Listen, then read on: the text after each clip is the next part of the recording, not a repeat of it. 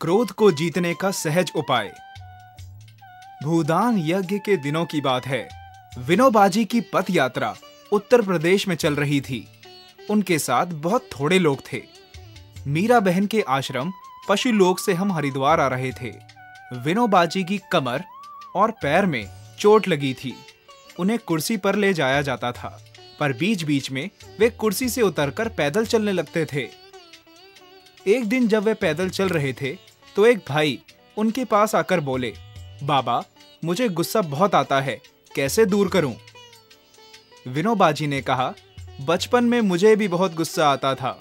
मैं अपने पास मिश्री रखता था। जैसे ही गुस्सा आया कि मिश्री का एक टुकड़ा मुँह में डाल लिया, गुस्सा काबू में आ जाता था। लेकिन कभी कभी ऐसा भी होता था कि गुस्सा आ जाता था और मिश्री पास में नहीं होती थी। तब आप क्या करते थे? उन भाई ने उत्सुकता से पूछा। विनोबाजी ने कहा तब मैंने सोचा कि ऐसे समय क्या किया जाए। सोचते सोचते एक बात ध्यान में आई।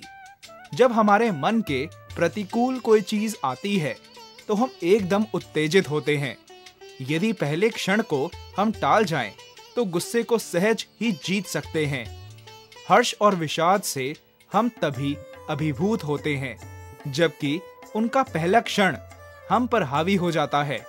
उस क्षण को टालना शुरू में थोड़ा कठिन होता है, लेकिन अभ्यास से वह बहुत आसान हो जाता है।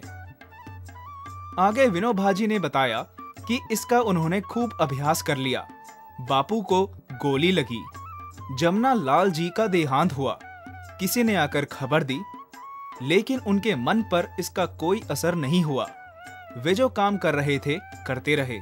लेकिन विनोबाजी ने कहा आगे जाकर लगा कि बापू और जमुना लाल जी के जाने से कितनी बड़ी क्षति हुई।